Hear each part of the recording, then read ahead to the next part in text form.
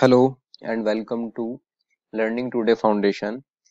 Today I am going to solve one more question of uh, CSIR NET which is come into the uh, 2011. So देखिए question क्या है कि let x be a connected subset of real numbers. If every element of x is irrational, then the cardinality of x is equal to what? Four option यहाँ पर given है तो देखिए क्या करना है सिंपल ये पूछ रहा है यहाँ पर कि इसकी कार्डिनलिटी क्या होगी तो हमें ये पता होना चाहिए सॉल्यूशन में कि जो सबसेट होते हैं एक्स कोई सबसेट है आर का, और अगर कनेक्टेड भी है साथ साथ ठीक है, एक डिसकनेक्टेड भी हो सकते हैं कनेक्टेड भी हो सकते हैं, लेकिन अगर कनेक्टेड है एक्स तो सिर्फ़ सिर्फ़ और सिर्फ़ इंटरवल्स ही होंगे। इंटरवल्स जो होते हैं intervals are connected okay so X कोई सबसेट है आर का और कनेक्टेड है तो ये इंटरवल्स होगा।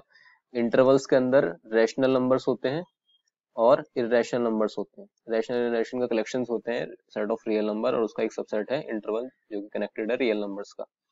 इसके अंदर रैशनल भी इरेशनल भी है। वो कह रहा है कि if every element of X is irrational सिर्फ़ इरेशनल हो रैशनल ना हो, आप रैशनल और इरेशनल को अलग नहीं कर सकते इस तरीके से दोनों। ठीक है?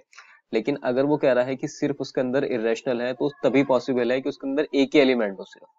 सिर्फ़ एक इरेशनल नंबर वो ही एक सबसेट बनेगा उसका। ठीक है? तो कोई भी हो सकता है, मान लिया कि वो ए है, जो बिलोंग करता है क्यू कॉम्प्लीमेंट से इसका मतलब ये हो गया कि एक्स के अंदर सिर्फ़ एक ही एलिमेंट है। Okay so cardinality of X क्या हो गई? One cardinality of X option D option is correct okay so ये इतना सा क्वेश्चन था बस। Okay, thank you so much.